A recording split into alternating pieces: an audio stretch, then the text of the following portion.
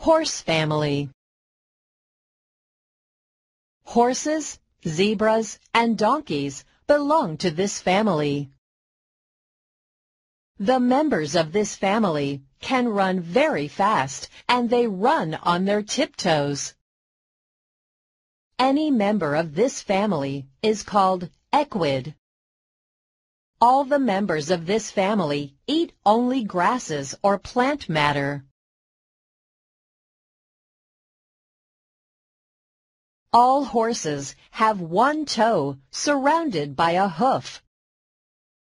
The hard hoof protects the toe of the animal.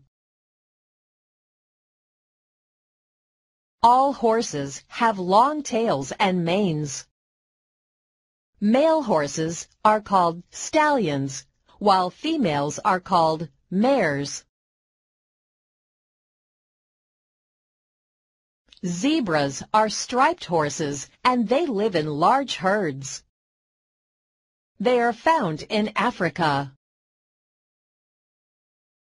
Zebra crossing is named after zebras' black and white stripes. Unlike horses and donkeys, zebras have never been truly domesticated. Donkeys are smaller than horses and have much longer ears. Wild donkeys are sometimes called burros.